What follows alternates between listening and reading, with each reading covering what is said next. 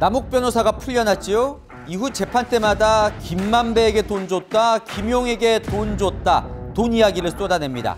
대체 얼마를 뿌린 걸까요? 궁금하지 않으십니까? 시원하게 풀어드립니다. 함께 공부할까요?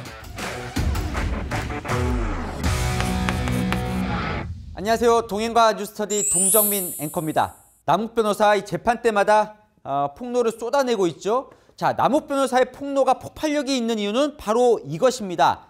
모든 돈의 출발점이기 때문이죠. 자, 지금 검찰이 수사 중인 김만배, 유동규, 정진상, 김용 이들의 뭐 뇌물 혐의, 불법 정치자금 혐의 이 모든 혐의 출발점이 바로 남욱이 준 돈입니다.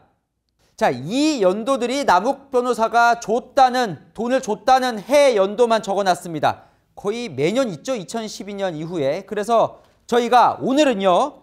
언제 얼마를 누구에게 무슨 돈으로 왜 어디서 줬는지를 한 방에 정리를 해보려고 합니다. 자, 이거 끝나면 마지막에 제가 시험 문제를 하나 낼 겁니다. 남욱 변호사가 뿌린 돈은 전체 얼마일까? 이거는 기억하셔야 됩니다. 이 이야기는 남욱 변호사의 진술만 모은 겁니다. 자, 2012년부터 가보겠습니다. 시작이었습니다. 남욱 변호사가 돈을 주기 시작한 2억 원을요, 누구에게? 김만배 씨에게 줬다는 겁니다. 왜 줬냐? 당시에 남욱 변호사는 2012년 속이 탈 때였어요. 왜냐면, 자, 이재명 성남시장이 선거 때는 대장동을 민영으로 개발하겠다고 했었는데, 시장이 된 이후에 공영 개발을 하겠다고 바꿉니다. 그러니까 성남시가 직접 하겠다는 거예요. 그러면 남욱 변호사가 주도권을 질 수가 없잖아요. 어떻게든 이 민영 개발로 바꿔야 할 때입니다. 그래서 2012년 4월에 서초구에 있는 한 식당 제가 찾아보니까 한 해산물 집이더군요.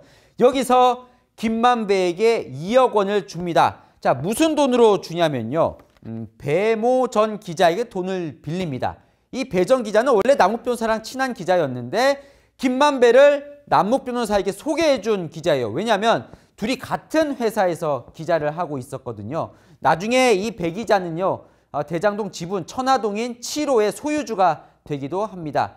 자 그럼 김만배에게 2억 원을 왜 줬냐? 남욱 변호사의 말에 따르면 이재명 시장이 민영 개발로 마음을 돌리도록 할 수 있는 사람 이 사람으로 봤다는 거예요. 김태년 민주당 의원. 어, 지역구가 성남이기도 하고 당시에 당에서 힘이 있었기 때문에 이재명 시장이 이 사람 말은 들을 거다. 그래서 김태년 의원 보좌관과 친분이 있는 김만배에게 2억 원을 좀 건네줘라. 로비용으로 좀 줘라라고 해서 줬다는 겁니다. 자, 김만배가 실제로 김태년 의원에게 돈을 줬는지는 확인이 되지 않습니다. 자, 이듬해죠. 2013년에 지금부터 이제 유동규 본부장이 돈을 달라고 하기 시작합니다. 자, 2013년이 어떤 때냐면 성남 도시개발공사 이제 설립 조례안이 통과가 되고 위례 대장동 이제 개발 한창 이제 준비를 하던 때예요. 자, 유동규 본부장이 인사할 때가 있다면서 이제 돈을 요구를 합니다. 처음에는요. 2천만 원을 달라고 그래서 2천만 원을 줍니다. 어, 실세 공무원이었으니까요. 그런데 유동규 본부장이 어, 3억을 더 달라고 해요. 자, 액수가 커지니까 이걸 한 번에 만들어 주지를 못합니다. 그래서 2013년 4월부터 8월까지 아홉 차례에 걸쳐서 이제 돈을 조금씩 조금씩 주는데요. 모두 합쳐서 남욱 변호사가 기억하는 것만 3억 5천2백만 원입니다. 어, 더 있을 수도 있다고 얘기해요. 남욱 변호사 말로는. 그러면 3억을 달라고 했는데 왜 3억 5천2백만 원을 줬냐? 어, 중간에 유동규 본부장이 더 달라고 합니다. 모두 합쳐서 4억 2천만 원을 달라고 해요. 자, 유동규 본부장 당시에도 공무원이었죠. 그러니까 들키지 않게 받아야 되잖아요. 그래서 은밀한 곳에서 주기 시작합니다. 그래서 어, 이번 편에서는 어디서가 중요한데요. 자, 유흥 주점, 일식집, 유동규 집, 스크린 골프장 이 네 군데 중을 이렇게 돌아가면서 이 돈을 아홉 차례에 걸쳐서 이제 나눠서 주기 시작하는데요. 자, 물론 이 추적이 안 되도록 이 쇼핑백에 현금 5만 원을 묶어서 묶음 돈을 이제 전해 주는데요. 어, 이 5만 원권 묶어 있는 요 띠지를 떼고 고무줄로 묶어서 줍니다. 왜냐하면 이 띠지에는 어, 은행 명이라든지 출처가 남으니까요. 그렇게 해서 어, 몰래 연락하려고 어, 휴대전화 두 개를 별도로 만들어서 이제 둘 사이에 통화를 했다고 하죠. 자, 돈 액수가 커졌잖아요. 이 돈을 2천만 원은 남욱 변호사가 혼자 그냥 마련을 해서 주거든요. 그런데 이 돈을 혼자 마련하지 못하고 남욱 변호사가 이 정영학 회계사와 그다음에 정재창이라고 위례 어, 개발할 때 최대 대주주였던 이 세 사람이 함께 이 돈을 마련해서 유동규 본부장에게 줍니다. 자, 그럼 유동규는 이 돈을 어디에 썼을까? 이게 이제 관심이 집중이 되지요. 자, 2천만 원, 3억 5천2백 합치면 3억 7천 2백만 원 중에 유동규 본부장 본인은 2천만 원만 썼다고 그래요. 그럼 나머지는 형님들에게 준다고 했다고 합니다. 남욱 변호사 말에 따르면요. 그 형님을 남 변호사는 김용과 정진상 실장이라고 알아들었었다고 해요. 자, 이제 2014년입니다. 이때는요, 김만배에게 돈을 줍니다. 자, 여기서는요, 왜가 중요합니다. 왜? 왜? 왜냐하면 처음으로 선거 자금이 나가거든요. 이재명 성남시장 재선 자금. 김만배에게 총 12억 5천만 원을 주는데요. 자, 이때가 어떤 때냐면 2013년에 어, 이 남욱 변호사가 위례 어, 개발 신도시 개발 사업자로 선정이 됩니다. 남욱 변호사는 그때 아 성남시장 재선 자금을 줘야겠다라고 생각을 했다는 거예요. 이재명 시장이 재선이 돼야만 다음에 대장동을 비롯한 각종 사업에서 혜택을 볼 수 있다고 본 거죠. 자, 그럼 이 돈을 이 돈을 어디서 마련했을까? 빌립니다. 누구한테 빌리냐면 이 분양 대행업자에게 빌리는데요. 내가 사실상 위례를 포함한 대장동 사업자로 내정이 되어 있으니 돈을 좀 빌려달라. 그러면 너희가 위례 대장동 사업에 참여할 수 있게 해주겠다. 실제로 이 분양 대행업자는 대장동 사업 때 다섯 개의 블록 분양 대행을 독점합니다. 자 그러면요 이 나무 변호사에게 받은 이 12억 5천만 원을 김만배 씨는 누구에게 썼을까요? 재선 자금으로 어떻게 썼을까요?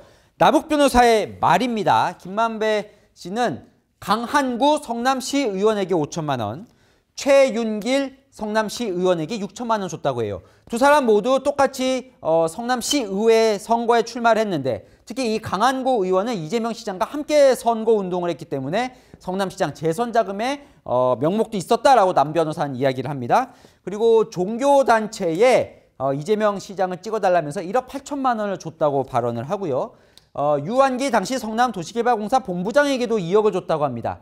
어, 이돈 어, 받은 혐의로 이제 수사를 받다가 유 본부장은 극단적인 선택을 하죠. 자, 그 외에 유동규 본부장에게 1억을 줬다고 하고요. 나머지는 형들에게 줬다는데 그 형들 정진상, 김용에게 5에서 6억 원이 갔다는 게 남욱 변호사의 진술입니다. 그런데요 여기서 어, 김만배, 유동규 두 사람의 말이 엇갈린다고 합니다. 합니다. 어, 김만배 씨는 남욱 변호사에게 받은 12억 5천만 원을 모두 유동규 본부장에게 건네줬다라고 진술을 하고 반면 유동규 본부장은 무슨 소리 나는 3억 6천만 원만 받았다고 이야기를 한다고 해요. 자, 2014년 선거가 끝나도 남욱 변호사는 이제 계속 돈을 주는데요. 당시에 남욱 변호사가 대장동 사업에 쓰려고 한 20억 원을 이제 빌렸다고 합니다. 어, 분양 대행업자 아까 빌렸던 그 분양 대행업자에게 어, 돈을 빌리는데 당시에 분양 대행업자는 또 건설업자에게 돈을 빌려서 줬다고 해요. 어, 남욱 변호사가 분양 대행업자에게 사실 갑의 위치라면 또 분양 대행 업자는 이 건설업자에게 이제 갑의 위치였던 거죠. 어쨌든 20억 원을 빌렸는데 자 김만배에게 결국 이 돈이 갑니다. 처음에는요 김만배 씨가 전셋집으로 옮겨야 한다고 5억 원을 빌려달라고 해서 빌려줬는데 나중에 아 내가 어차피 대장동 사업을 할 때 쓸 거니까 자 나한테 빌려줘라 그럼 내가 갚겠다고 해서 20억 원을 이제 빌려갔다는 거예요 자 그럼 이 김만배 씨는 이 돈을 어디에 썼을까요? 남욱 변호사는 이렇게 말합니다 이 중에 일부는 사업 자금으로 썼지만 어, 나머지 대부분은 정진상, 김용 두 사람에게 줬다고 들었다는 거예요. 어, 이게 대장동 초기 로비 자금이라고 생각했다는 게 남욱 변호사의 발언입니다. 자, 2017년과 2018년은 최근에 남욱 변호사가 어, 재판정에서 밝힌 거라 아직 정보가 적습니다. 자, 이 남욱 변호사 진술에 따르면 2017년에 이 김만배를 통해서 이 정진상, 김용, 유동규에게 매달 1,500만 원씩 어, 돈을 줬다는 겁니다. 어, 뭐, 저, 김만배는 매달 3천만 원 줬다고 이야기를 했다는데 유동규 본부장이 뭐 팔쩍 뛰면서 1,500만 원이다 이렇게 얘기를 했다고 재판 진술에 나오는데요. 어쨌건 어, 정확히 몇 달을 줬는지는 모르지만 세 사람에게 1,500만 원씩 화천대유 운영비 명목으로 돈을 줬다고 말합니다. 또 어, 2018년엔 이 남욱 변호사가 김만배 씨가 유동규 본부장도 모르게 정진상 실장에게 돈을 줬다라는 어, 돈을 준 것으로 알고 있다는 발언을 재판장에서 하는데요. 그 돈의 명목이 바로 경기지사 당시에 음, 성남시장 그만두고 이재명 시장이 경기지사 도전하잖아요. 그 선거 자금이었다고 이야기를 합니다. 얼마 줬는지는 정확히 이야기를 하지 않지만 어, 당시에 김만배 씨는 이건 형이 알아서 처리할 거야 이렇게 이야기를 했다고 해요. 자 마지막 2021년 지난해 어, 대선 경선이 있던 해지요. 자 김용 민주연구원 부원장에게 어, 8억 4,700만 원을 줍니다. 자, 김용 부원장이 유동규 본부장에게 요구를 하고 유동규 본부장이 남욱 변호사에게 요구를 하는데요. 여기서 또 왜가 중요하죠. 네, 대선 경선 자금이 필요하다고 했다는 겁니다. 자, 남욱 변호사는 그냥 주진 않습니다. 대장동 사업 그 다음 안양 탄약고 개발 사업을 내가 참여를 하려고 하는데 이재명 지사가 대통령이 되면 안양 탄약고 부대를 이전을 해주고 거기에 개발 사업에 내가 참여를 할 수 있도록 도와달라라는 조건을 걸고 김용 부원장 오케이 해서 어, 남욱 변호사가 돈을 마련을 하는데요. 어, 본인이 갖고 있는 다른 부동산 회사의 자금을 끌어 모아서 이제 돈을 줍니다. 어, 그 중간에 어, 정민용 변호사가 이제 끼어드는데 이 정민용 변호사는요 음, 남욱 변호사의 대학 후배고 어, 남욱 변호사가 대장동 사업을 위해서 성남 도시개발공사에 취직을 시킵니다. 유동규 본부장에게 부탁을 해서 자 유동규 본부장 그러니까 정민용 변호사의 상사로 같이 일했죠. 그래서 두 사람은 퇴직 후에 어, 회사를 함께 만들어서 어, 공동 운영을 하고 있을 때예요. 그래서 어, 남욱 변호사가 어, 본인의 직원을 시켜서 남, 정민용 변호사에게 돈을 주면 이렇게 돈을 전달을 합니다. 자 어디서 주냐면요.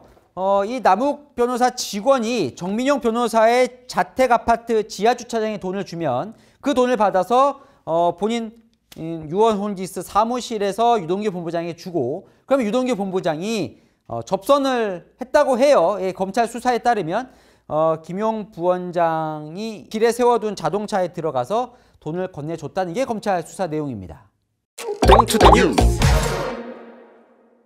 자 시작할 때 제가 시험 문제 된다고 전해드렸죠. 남욱 변호사가 준 돈은 총 얼마일까요? 제가 다 모아봤습니다. 자 제가 계산해 보겠습니다.